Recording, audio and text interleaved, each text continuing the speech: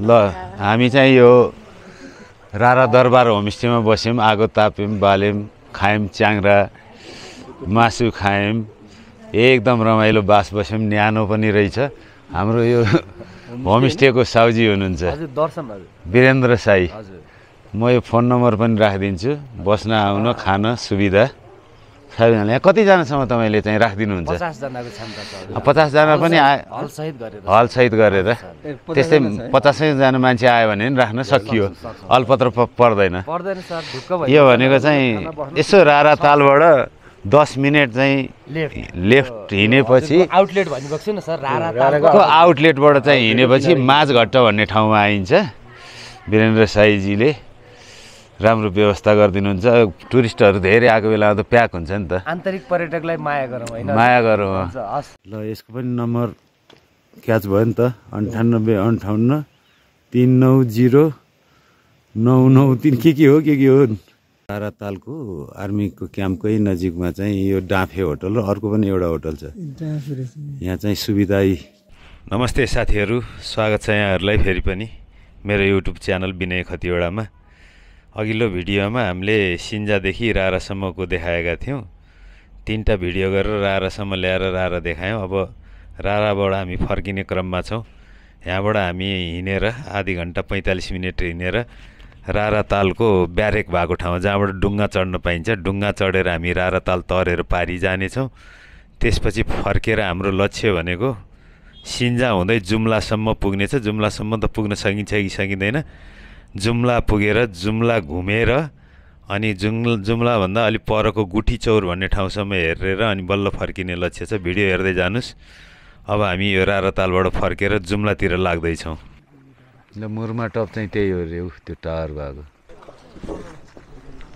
एक दुई तिन चार पाँच छ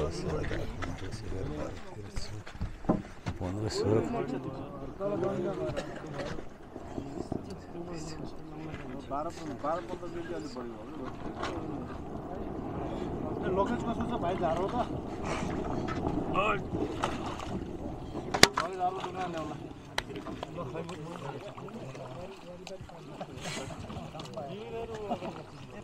चौध पन्ध्र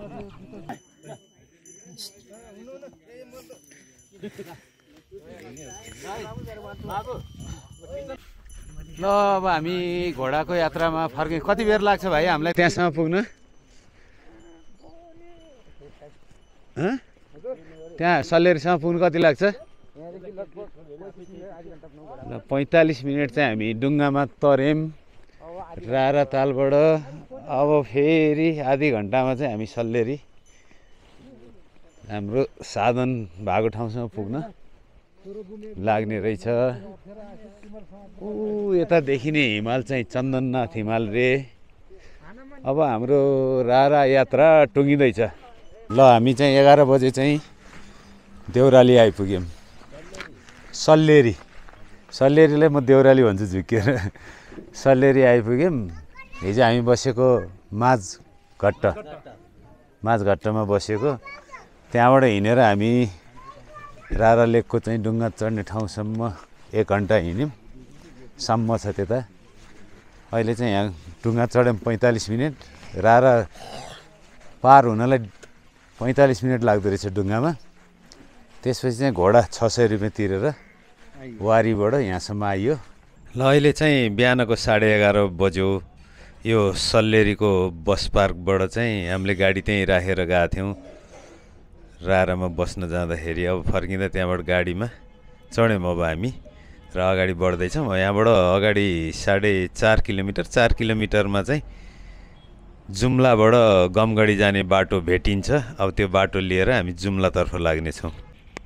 ल यो चाहिँ अब हामी यहाँ फर्केर आइपुग्दा यो नागमाबाट गमगढी जाने बाटो मुगुको सदरमुकाम जाने बाटो। यहाँबाट अगाडि चाहिने एक दुई किलोमिटर कतिमा तालचा एयरपोर्ट नौ किलोमिटर जतिमा मुगुको सदरमुकाम आउँछ। अब हामी चाहिँ नागमातर्फ अथवा जुम्लातर्फ लाग्दैछौँ। अब जाँदा पनि अहिले फर्किँदा पनि बाटो त उही हो। एकातिर भित्ता साँगुरो बाटो अर्कोतिर भिर ठाउँ ठाउँमा पहिरो गएको तर रमाइलो डाँडा काँडा देखिने सल्लाहको वन हेर्दै हेर्दै फर्किँदा चाहिँ हामीलाई जाँदा भन्दा चाहिँ बाटो निकै नै सहज लागिरहेको छ।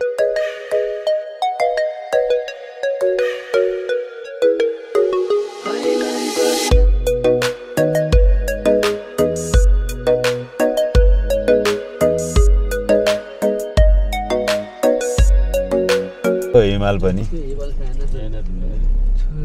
यही रहेछ छायानाथ अनि त्यो एकजनाले भन्यो नि एक रुपियाँ नोट राखे हिमालको फोटो यही हो अरे भनेर भन्थ्यो होइन?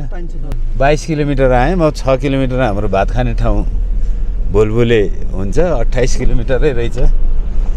जाँदाखेरि अलिक टाइम लागेको थियो आउँदा अलिक सजिलोसँग आइदो रहेछ हिँडेको राराबाट एघार बिसमा हो अहिले बाह्र पचास हुन लाग्यो। डेढ घन्टा भयो। डेढ घन्टामा हिँड्यौँ हामी बाइस किलोमिटर। पन्ध्रैको एभरेजमा हिँड्ने रहेछ यहाँ ल। मोटरसाइकलवालाहरू अलिक दौडिँदो रहेछन्। ल सत्ताइस साढे सत्ताइस किलोमिटर रहेछ रारा यहाँबाट। यो भुलभुले भुलभुले भन्ने ठाउँबाट। अहिले एक बजिसक्यो हामी फर्किँदा चाहिँ अलिक चाँडै भयौँ। डेढ घन्टामा यो भुलभुले आइपुग्यौँ। यहाँ चाहिँ हामीले फोन गरेर खाना भनेको छौँ। अब खाना खाएर अगाडि बढ्छौँ। एउटा कुरो चाहिँ यो भुलभुलेबाट सोझै जुम्ला सदरमुकाम खलङ्गाई भन्छ क्यारे जाने बाटो पनि रहेछ छोटो पनि छ अरे तर अलिक अप्ठ्यारै छ भने भएर हामी चाहिँ सिधै नाङ्बातिरै अगाडि बढ्छौँ अनि नाङ्बाबाटै बत्तिस किलोमिटरमा जुम्ला खलङ्गा पुगिन्छ त्यतातिर लाग्नेछौँ।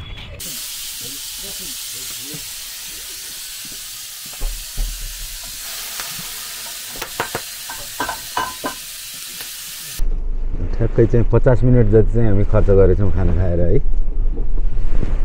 पचास मिनट खर्च गऱ्यौँ।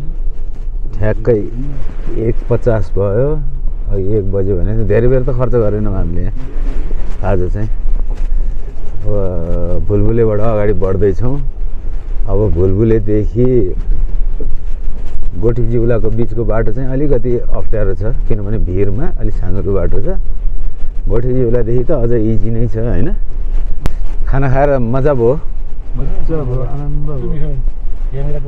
च्याङ्राको मासु? रायोको साग मार्सी सिमीको दाल। अचार पनि एकदम मिठो बनाएको थियो कि तिलको छोपको। होइन? ए भाङको हो? मिठो लागेको थियो एकदमै ल। रारा जाँदा पनि यो बाटोहरू यो ठाउँहरू देखाएको थिएँ। अलि छुटेको ठाउँहरू राम्रो लागेको ठाउँहरू फेरि देखाउन देखाउन गइरहेको छु। हेर्नुहोस् कस्तो अलिकति बाटो चाहिँ नि यत्रो पर्यटकीय सम्भावना बोकेको यस्तो रमणीय जुम्ला र मुगु जाने बाटो चाहिँ अलिकति अप्ठ्यारो छ। यो सहज भइदिएको भए कति पर्यटकहरू आउँथ्यो होला कति सम्भावना थियो। प्लेनबाट पनि आउन सकिन्छ आउन त यहाँ। प्लेनबाट आयो भने यो ठाउँहरू तपाईँहरूले देख्न पाउनुहुन्न। नेपाली भाषाकै उत्पत्ति भएको सिन्जा भ्याली नै देख्न पाउनुहुन्न। असाध्यै राम्रो पाहाडहरू अनि त्यसमा भएको वन जङ्गल स्याउको बगैँचाहरू धेरै चिजहरू हेर्न पाइन्छ यताबाट हेर्दै घुम्दै आउँदाखेरि। वन जङ्गल हरियाली बाटो घुमाउरो यो बाटोलाई सुन्दर बनाइदिने भने कति राम्रो देखिन्थ्यो। अब यस्तो अप्ठ्यारो छ बाटो अनि ढुवानीको साधनहरू यसरी आउनु पर्दा कर्णालीवासीलाई कति मार पर्यो होला कति महँगो तिर्नुपर्छ गाडीहरू ट्रकहरू आउनु झन् अप्ठ्यारो छ। विकास निर्माणको काम त हुँदैछ तर अलि धिमा गतिमा भइरहेको जस्तो लाग्छ। ठाउँ ठाउँको जुम्लाको सुन्दर गाउँ बस्तीहरू हेर्दै हेर्दै आउनु पाइन्छ मोटर बाटोबाट आयो भने। हामी चाहिँ अहिले जुम्लातर्फ अगाडि बढ्दैछौँ। गोठी जिउला आइपुग्यौँ। गोठी जिउला आइपुगिसकेपछिको चाहिँ बाटो चाहिँ एकदम सहजै छ। गाउँ बस्ती घुम्दै घुम्दै हिमा कर्णाली नदीको किनारै किनार खेतीपाती मजाले हेर्दै हेर्दै डाँडा काँडा पनि यताको त असाध्यै राम्रो छ। बस्ती बस्ती हुँदै आउनु पाइन्छ। तर चार पाँचवटा पुल भने तयार त भइसकेको छ तर खोलाइमा ओर्लिनुपर्छ। उद्घाटन गर्न बाँकी भएर होला। अरू सब ठिक छ। तल हिमा नदी। यो हामी नाङ्माबाट हिँडेको गोठी जिउला र नाङ्माको बिच बिचमा पर्छ। माथि त्यहाँ विन्ड मिल रहेछ त्यो चरनहरू होला त्यो घाँसहरू। ग्राभल बाटो हो ठाउँ ठाउँमा चाहिँ पुल रहन्छ। यस्तो मारुति भ्यान पनि आउँछ।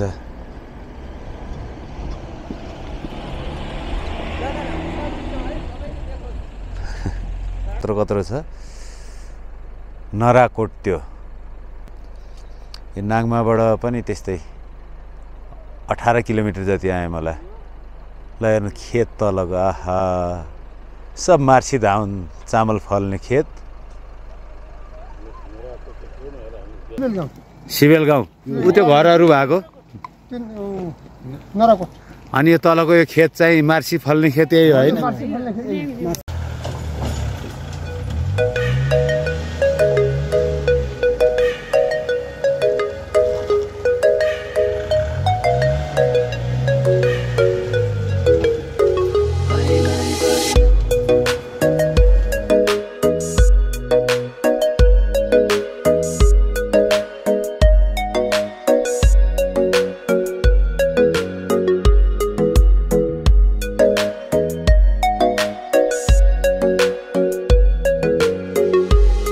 साथीहरू अहिले बेलुकाको साढे पाँच छ बज्न लागेछ।